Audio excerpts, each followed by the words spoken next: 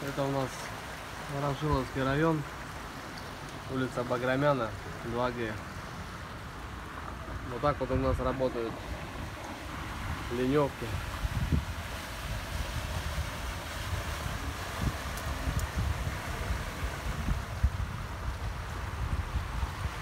Вот такая красота.